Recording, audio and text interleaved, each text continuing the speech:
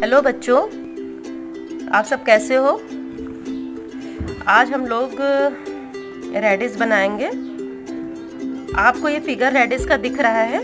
ये मैंने पूरा बना के रखा है, क्योंकि टाइम कम होता है और चीज़ ज़्यादा से ज़्यादा पहुंचानी होती है। इस वजह से मैंने मैं आपको समझाऊँगी कि कैसे, कितने मेज़रमेंट में इसको बनाना है। तो आप 15 सेंटीमीटर का ये फुल 15 सेंटीमीटर का ले लीजिएगा। उस पर से ये थ्री हाफ़ सेंटीमीटर का इधर ये ट्रायंगल बना लीजिएगा। और इसी के बेस पे आपका रेडिस बनेगा। इसके बेस पे ऐसा रेडिस बनेगा।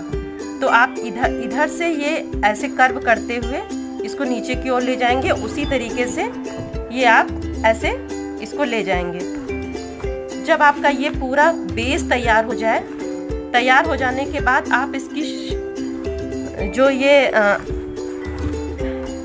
इसको इसको तैयार करने के बाद आप जो ये शेड करोगे तो आपका शेड ये ऐसे आएगा।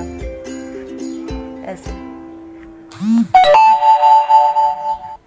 और करीब आपकी जो लीव्स हैं, वो आपको दिख रहे हैं। अगर मैंने 15 का बनाया तो 11 सेंटीमीटर की लीव्स जाएँगी ऊपर। और ऐसे कर्व करते करते हम लोग ऐसे से लीव्स बनाएँगे इसकी। ये जो पार्ट आएगा आपका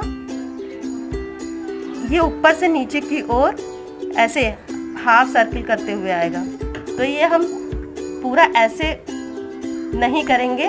आपको पेंसिल से पुश करके इसको ऐसे करना है।